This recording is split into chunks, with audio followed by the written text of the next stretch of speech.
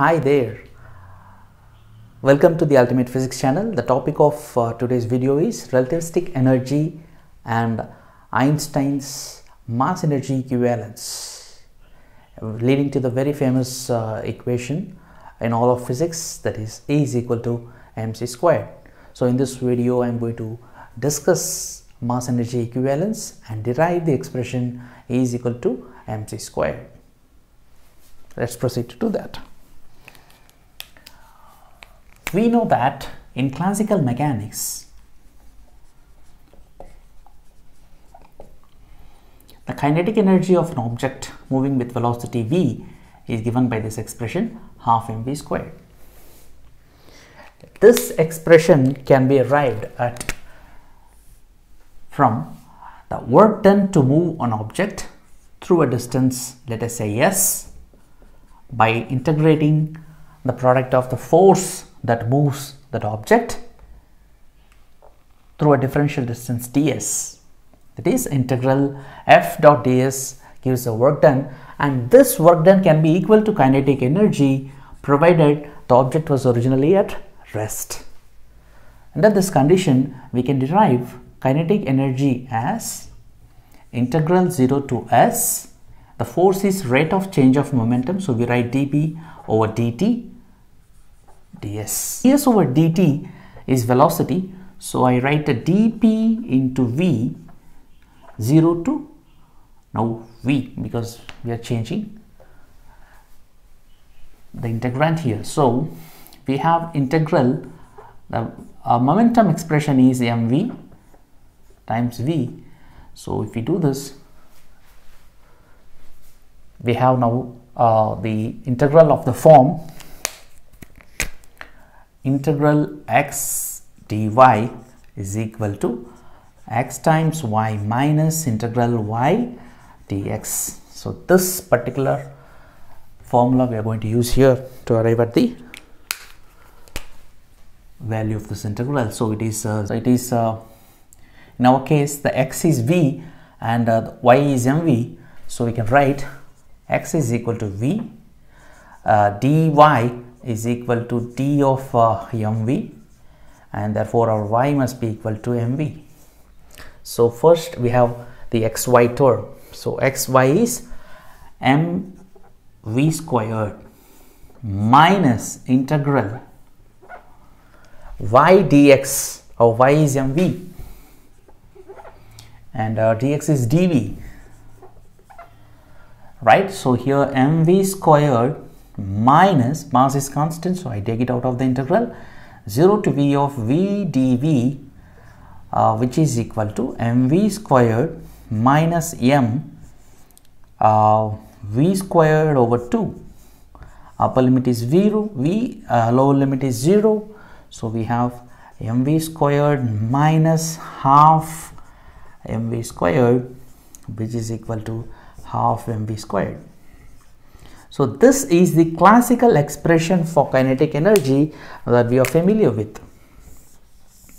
Now in special relativity, this expression for kinetic energy cannot be valid. Why? Because we know that in special relativity, our expression for momentum P is equal to mv is no longer valid.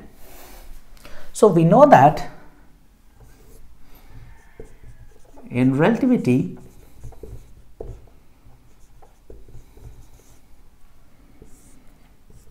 P is equal to gamma times mv. So now we have to substitute that in this particular uh, integral to arrive at kinetic energy. So I write kinetic energy is equal to again integral of 0 to v uh, d gamma mv into v right. So here uh, obviously this is a constant m. So m is uh, m, uh, m, times uh, integral 0 to v uh, d gamma v into v. Now in this case the x turns out to be v and the y or dy first turns out to be d times gamma v which is v over square root of 1 minus v squared over c squared because gamma is the Lorentz factor which is 1 over square root of 1 minus v squared over c squared. So this is dy and therefore our y turns out to be v over simply square root of 1 minus v squared over c squared. So applying the same formula here again, I'm going to write uh, m times uh, xy. xy is going to give me uh, v squared over square root of this term uh, 1 minus v squared over c squared minus so xy minus integral y dx so integral uh, y. Y is v over square root of 1 minus v squared over c squared and our dx in this case is dv. So I write dv here. Right? So we can now write uh, that this particular integral alone we will try to first uh, uh, work out separately right so I'll try to work out this integral here so we have integral 0 to v of uh, v dv over square root of 1 minus v squared over c squared right so I can do some substitution here to simplify this integral. So I take 1 minus v squared over c squared to be equal to some x squared. So I say let and therefore uh, minus 2v uh, over c squared dv. I'm just differentiating this. I'm getting to x dx on the right side, right? So I can just cancel these 2's right I end up having an expression for VDV right so my VDV is equal to um, c square x uh, dx of course this minus sign I can transfer it to right hand side. Now this integral I can continue to write now as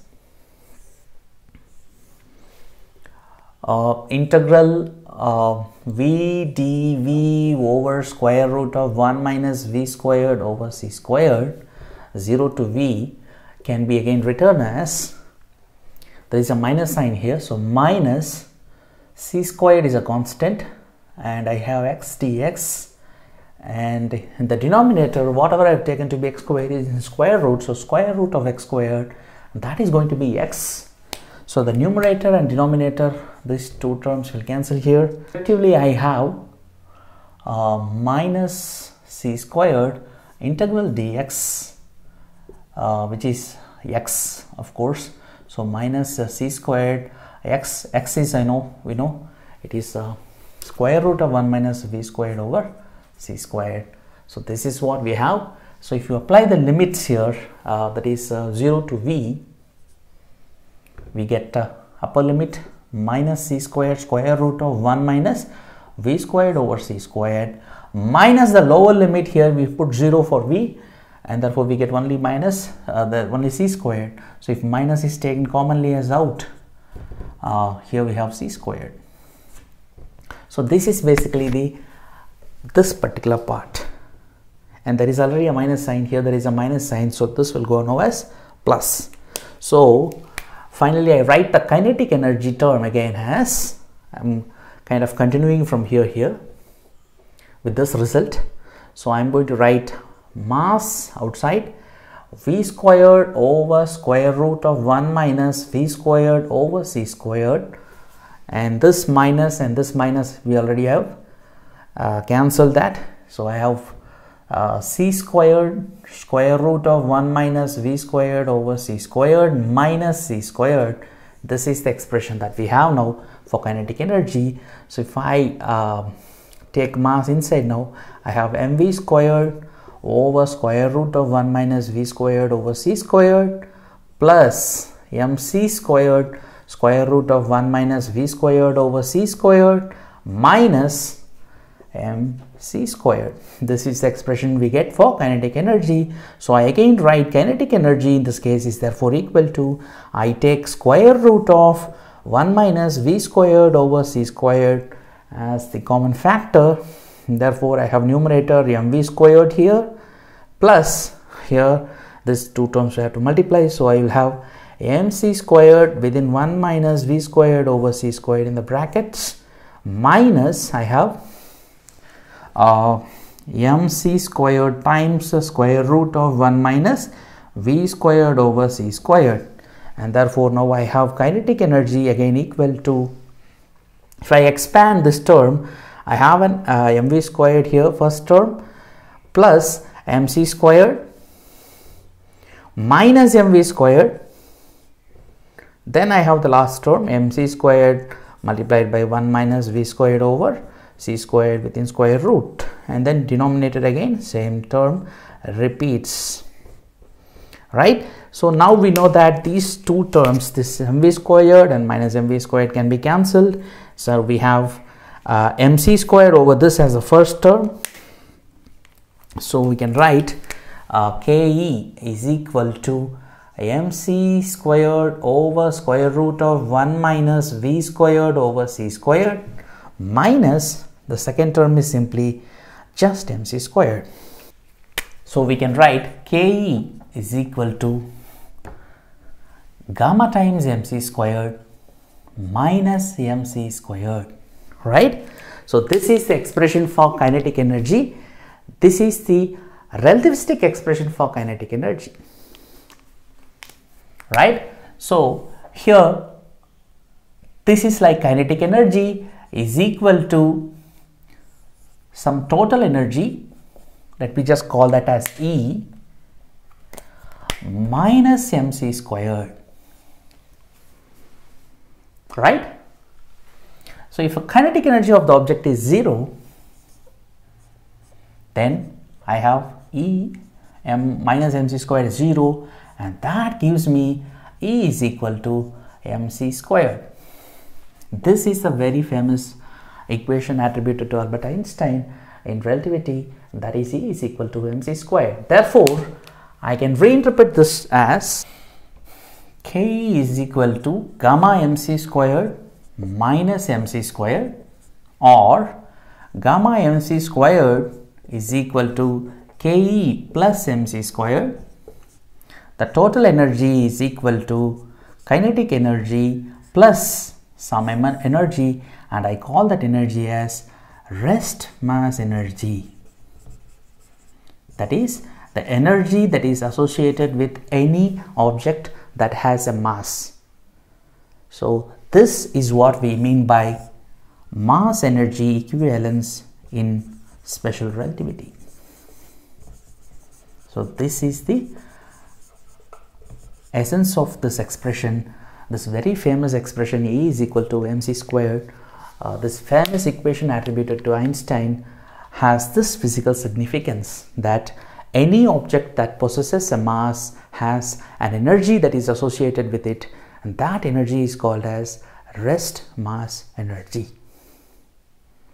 And therefore, it is like a potential that is held by the mass that it has that much energy with it because of the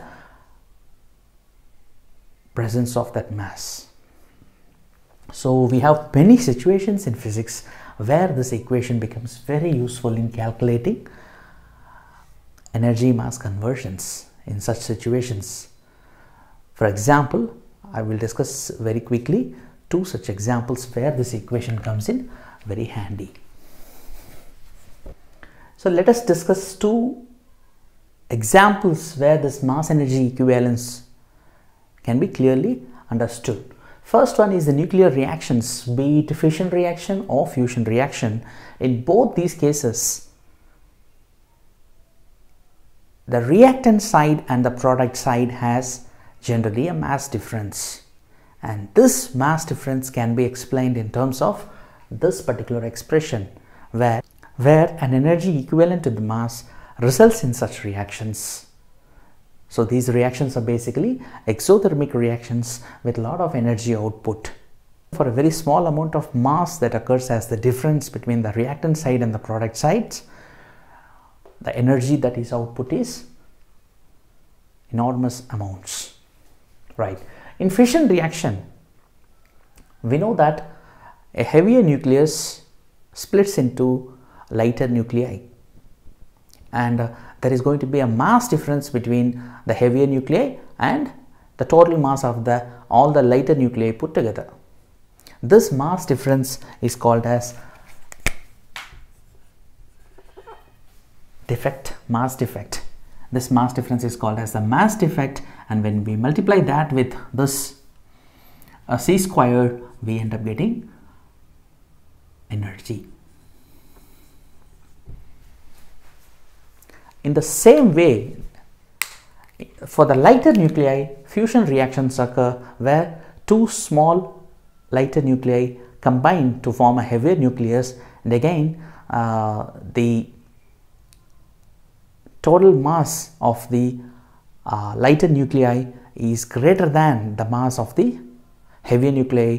And therefore again the difference in mass uh, is obtained in such reactions as energy. And that's why nuclear reactions are highly energetic reactions.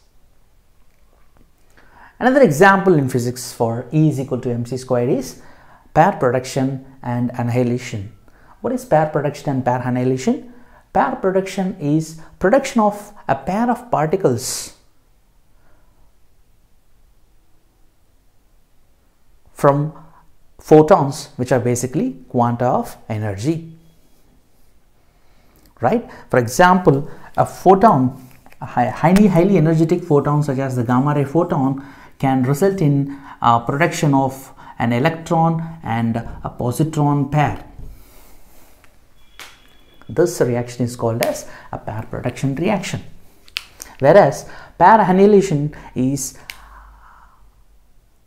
destruction of a pair of particles to produce pure energy and uh, wherein a same reaction can be seen in reverse uh, an electron and a, a, positron annihilate each other uh, resulting in a release of uh, energy in the form of photons so these two uh, uh, are very classic examples for uh, the mass energy equivalence principle of a special theory of relativity.